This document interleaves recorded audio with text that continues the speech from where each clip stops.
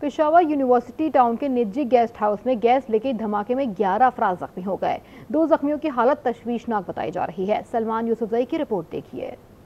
निजी guest house के manager ने आज न्यूज़ को बताया कि गेस्ट हाउस के कमरे में गैस लीकेज की वजह से धमाका हुआ जिससे गेस्ट हाउस के चार कमरे जजवी तौर पर मुतासर हुए। जो गेस्ट वगैरह मेरे पास थे मैंने उनको सही सलामत जो है निकालने की कोशिश यहाँ से की है।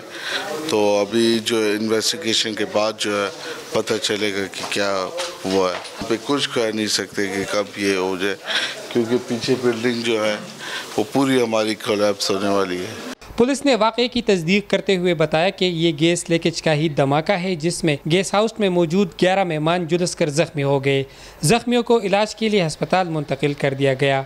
ये ब्लास्ट जो है, ये कमरे में जो गैस कनेक्शन होता है, उसकी लीकेज की वजह से हुआ है। जब गैस कमरे के अंदर इकट्ठी हो गई तो उसकी वजह से ये ब्लास्ट हुआ और कमरे की छत जो है, इससे थोड़ा सा गिरना शुरू हो गई और काफ़ी बड़ा इससे धमाका हुआ है। लेकिन अल्लाह का शुक्र है कि जो इंजर्ड लोग हैं, वो महफूज हैं। वाक़े के बाद पुलिस नफरी दीगर इमदादी टीमों के साथ मौके पर पहुँची और वाक़े से मुतल तहकीकत शुरू कर दी। कैमरामैन सईद अख्तर के साथ सलमान यूसुफ जे आज न्यूज़ पेशा